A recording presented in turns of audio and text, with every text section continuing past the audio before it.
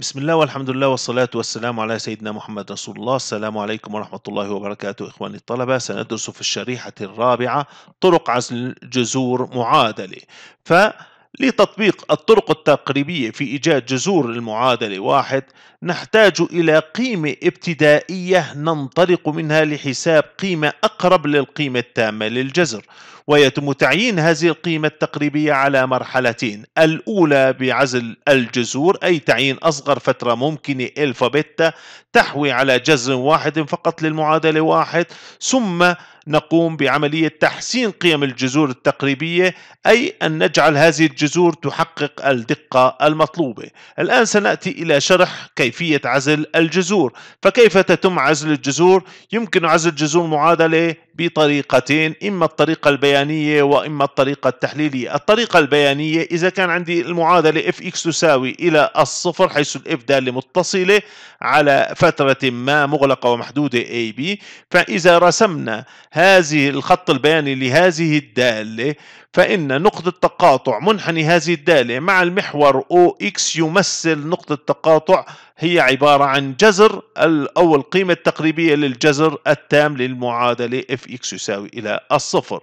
هذا إذا كانت الدالة بسيطة والخط البياني يمكن أن يرتسم ببساطة. لكن في إذا كانت الدالة أكثر تعقيدا أو معقدة فنقوم باستبدال للمعادلة fx يساوي إلى الصفر بمعادلة مكافئة لها عبارة عن f g x يساوي إلى فاي x ونقوم برسم الدالتين جي والفاي عسى أن يكون رسمهما أسهل من رسم الدالة f x الآن إن نقطة تقاطع منحني هذين الدالتين هو عبارة عن جذر للمعادلة f x يساوي إلى الصفر.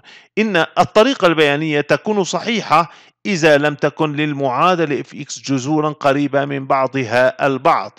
وعندها يمكن فصل الجذور هذه المعادلة بكل بساطة. لنأخذ المثال التالي. فمثال أوجد بطريقة بالطريقة البيانية جذور المعادلة f x يساوي x تكعيب زائد x ناقص واحد. لنرسم منحني الدالة f x. لو جينا ورسمنا منحني الدالة هذه. لوجدنا أن الخط طبعا ما دام الدالة تكعيبية فسيكون خطها البياني من هذا الشكل. عندئذ إذا كانت هذه هي الواحد وهذا هو النصف. عندئذ واضح أن نقطة تقاطع المنحني مع محور الفواصل هي هذه النقطة الزي أي أن الزيتا هذه التي مرشح لأن تكون جذرا للمعادلة تقع في الفترة بين النصف والواحد. طبعا هذه هذا رسم تقريبي للمعادلة ولكن استطعت أن أعزل جذرا لهذه المعادلة واستنتجت أنه يوجد جذر لهذه المعادلة داخل هذه الفترة. طبعا يمكن أن أضيق الفترة أكثر إذا أردت فبكل بساطة يمكن أن أعطي لل x وأحسب القيمة ال y فإذا أخذنا لل x نصف ثم صفر فاصلة ستة ثم صفر فاصلة سبعة ثم صفر فاصلة ثمانية ثم صفر فاصلة تسعة ثم صفر فاصلة عشرة أي أنها واحد فاصلة صفر. وحسبنا قيمة ال y يعني عوضنا في هذه المعادلة كل x بنصف فحصلنا على سالب صفر فاصلة ثلاثة سبعة خمسة.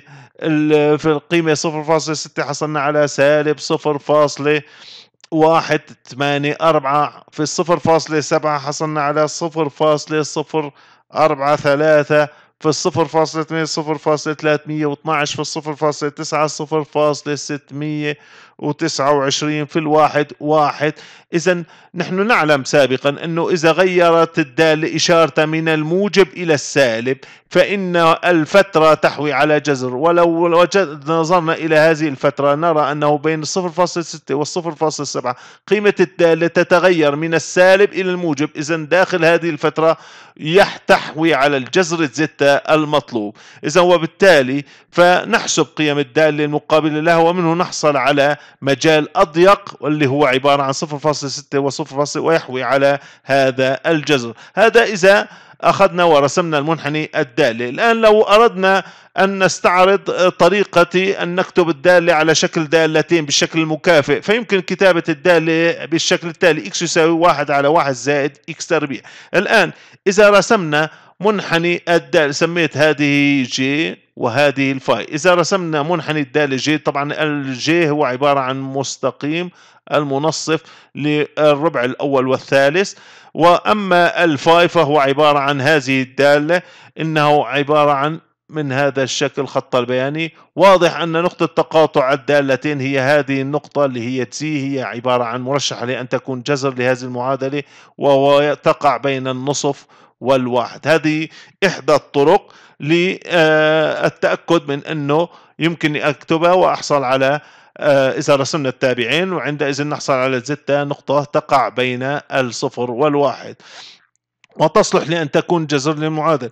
طبعا يمكن أن أفصل المعادلة بصورة أخرى وأن أكتب المعادلة اللي عندي هذه بالشكل التالي. يمكن أن أكتبها x تكعيب يساوي إلى واحد ناقص x. وأرسم إذا سميت هذه الجي وهذه هي الفاي الآن ال x تكعيب دالة شهيرة وخطه البياني من هذا الشكل. هذه هي ال x تكعيب اللي هي عبارة عن جي والفاي هي واحد ناقص x. الآن هي عبارة عن معادلة مستقيم من هذا الشكل. هذا هو الفاي وبالتالي نقطة تقاطع المنحنيين هي هذه النقطة اللي هي زيتا تصلح لأن تكون جذرا للمعادلة أو جذر ابتدائي للمعادلة وواضح أنها تقع بين النصف والواحد. إذا هنالك طريقة هي الطريقة البيانية تستخدم إذا كانت الجذور المعادلة لا تحوي على جذور قريبة من بعضها البعض آه، على سبيل المثال في كسيرات الحدود.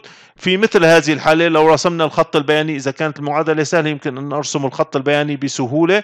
وأرى نقطة تقاطع مع المحور الفواصل وإلا يمكن أن أستخدم الطريقة الثانية وذلك بأن أكتب المعادلة بالشكل المكافئ g x يساوي إلى فاي x وأقوم أن أرسم الدالة جي وأرسم الفاي نقطة تقاطع الدالتين هو عبارة عن نقطة مرشحة لأن تكون جذرا للمعادلة. طبعا هنا عزلت الجذر. الآن أقوم بالعملية الثانية وهي تحسين الجذر. هذا ما سنأخذه في المستقبل. آه، طبعا ممكن أكتب المعادلة بالشكل جي يساوي إلى فاي بعدة طرق. هذه طريقة. هنا كتبتها بطريقة أخرى. نفس الشيء تماما. نقوم برسم الدالة الأولى ورسم الدالة الثانية. نقطة تقاطعهما هي عبارة فاصلة. هذه التقاطع هي تصلح لأن تكون قيمة تقريبية لأن تكون لجذر المعادلة الذي نبحث عنه. إذا استطعنا أن نعزل الجذور والسلام عليكم ورحمة الله وبركاته.